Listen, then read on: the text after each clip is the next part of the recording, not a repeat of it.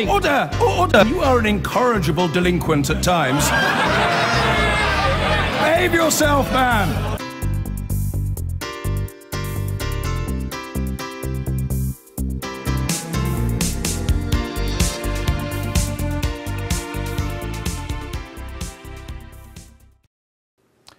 No MI6 officers will face charges over the alleged detention and torture of an opponent of the former Libyan leader, Colonel Gaddafi, in 2004.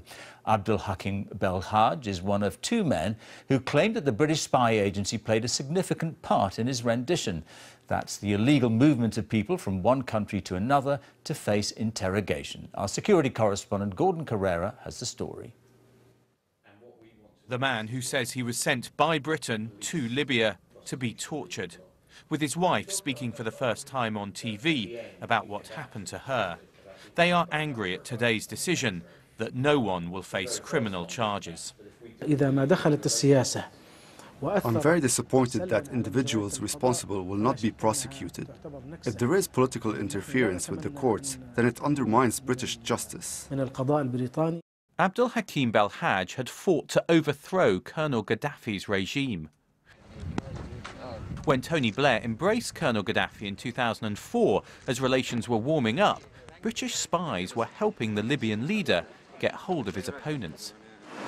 It was only when Gaddafi was overthrown in 2011 that details first publicly emerged, suggesting MI6 had worked with the CIA to send Belhaj and another man to Libya.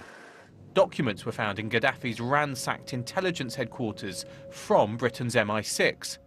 Belhaj is referred to as a terrorist in letters allegedly written by Sir Mark Allen, then MI6's head of counter-terrorism.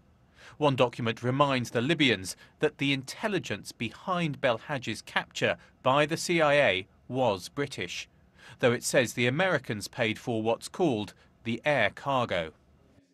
That air cargo included Belhaj's wife, six months pregnant at the time and strapped onto a stretcher for the journey. My hands and legs were tied and my eyes were covered. They injected me with something. I didn't know where I was going. I was six months pregnant. I was so scared that I was going to die. She was released after four months, but her husband was held for six years and says he was tortured by the Libyans.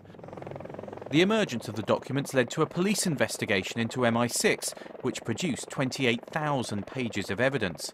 But today, the Crown Prosecution Service said witnesses could not recall sufficient detail, and it thought the evidence was not strong enough to secure a prosecution.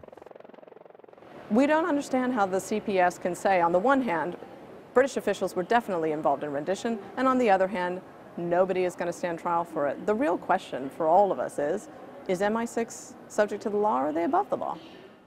There will be relief inside MI6 that no former officers face prosecution. Those who've worked inside acknowledge that mistakes were made, though, in the early years of the war on terror. But critics will say that today's decision means no one will be held to account. Gordon Corera, BBC News.